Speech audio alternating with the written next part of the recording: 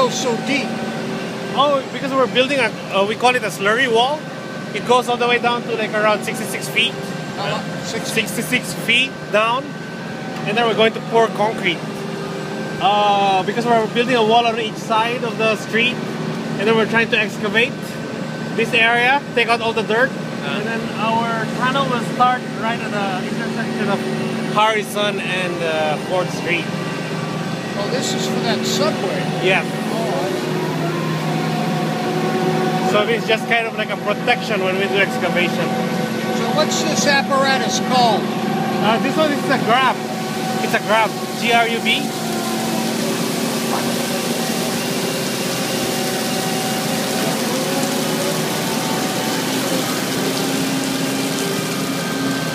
And the liquid that you're seeing is, is actually like a slurry water and bentonite. Because the groundwater is too high over here, there's so much water. We don't want the water to come in and, uh, you know, collapse the, the excavation.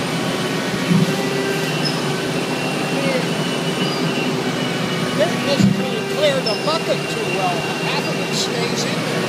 Yeah, sometimes they need to like jerk, jerk it. How deep is that? This one we're trying to excavate like up to like 65, 66 feet. What is it now? Uh, right now, I, I don't know yet. Yeah, but he, he knows because we have like a measuring instrument. Much of it sticks in there? Yeah, because one is like clay and sandy area. You're welcome. You're gonna put a piling down there and then anchor the box with this? Yes, we have like walls, concrete walls. We, and the metals, the, those I-beams, those are like supports for the concrete wall.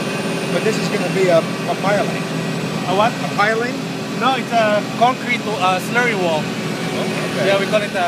You're gonna dig the, all along like that? Yes, we would excavate this entire area, and uh, our tunnel will start at the intersection of uh, Fourth and Harrison. So where does the tunnel start? Just underneath the freeway? Over there. So where, do, where does the, uh, The grade, it grade starts. Over, yeah, it, it starts over there at the uh, Bryant. Bryant and Fourth. It goes down, and over here will be the tunnel how long is this going to take? Uh, we'll three years. It is. Yeah, right we'll here? start excavating early next year. Yeah. All right. Okay. I guess I get to watch it. Yeah.